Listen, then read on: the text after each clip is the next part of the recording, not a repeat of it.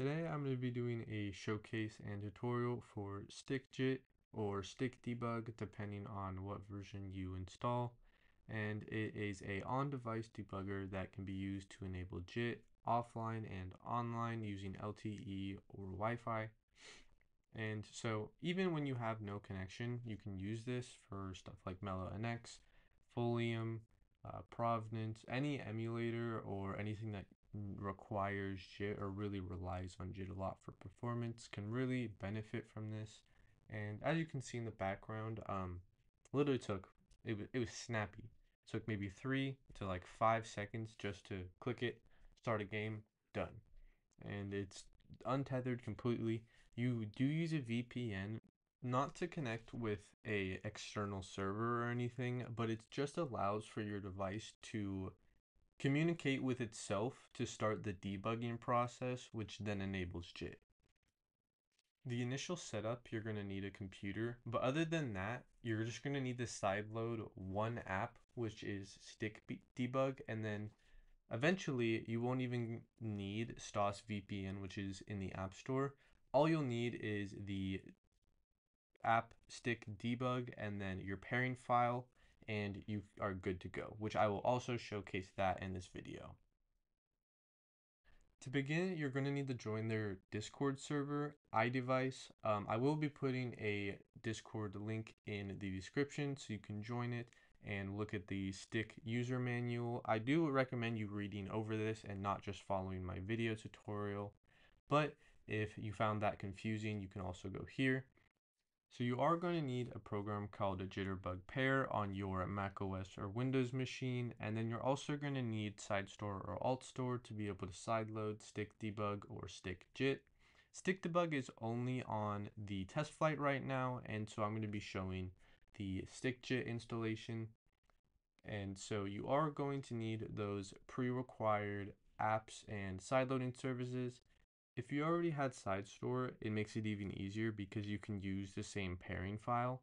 And so if you have that, you're basically already done. So you can just skip this step right here.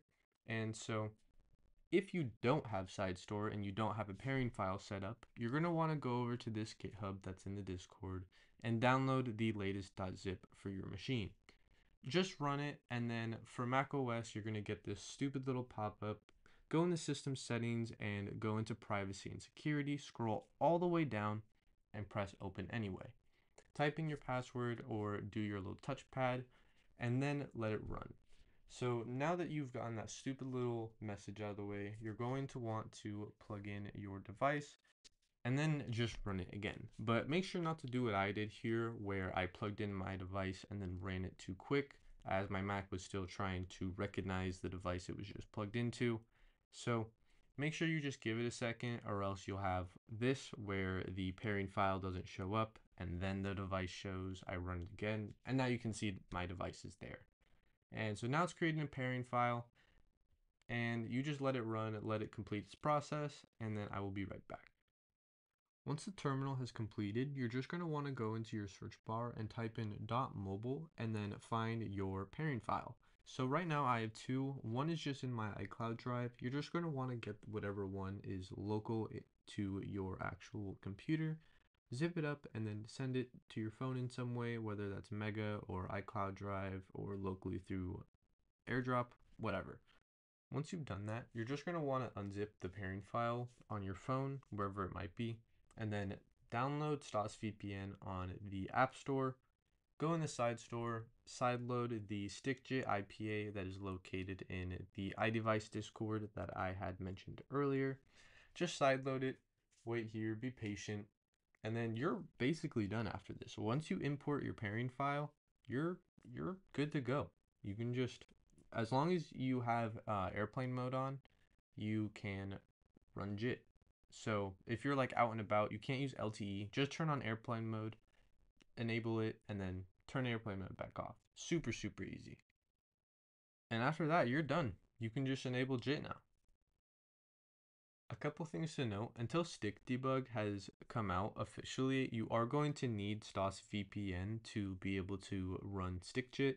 But once StikDebug is here, it's going to be integrated into the app and you can just open the app, run it, and you're all done. And so that's what I'm using here. And then just to showcase, I am on the latest iOS 18.5, the latest beta. There's nothing to update to right now. Just to show how great of a product these developers have really brought us. And so I just want to sing the highest praise I possibly can. Um, a lot of these developers you've seen throughout this channel, and you probably know of them just on your own volition. People like Stefan, or also known as Blue, super busy guy. He has so much going on, like with school, his other apps, and then also along with this as well. He's done a great job implementing this into iOS. And then J.K. Coxson, he's done so much to help the sideloading community, uh, especially with JitStreamer EB, but just all of his work done with JitStreamer in general. Stossy11, she created MeloNX and also Pomelo.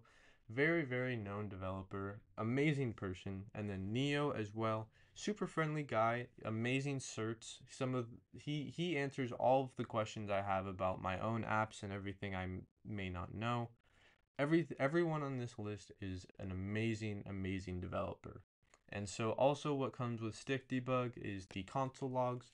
And so it's not only meant for JIT at this point where you can also really debug your apps locally on your device with no other not needing anything else, which has never been done before. And so these these people have just really showcased what they can do. And so I, I would just really, really suggest anyone that comes across this video and uses it to please show your absolute and most support that you can to these people because they they have given us a treat.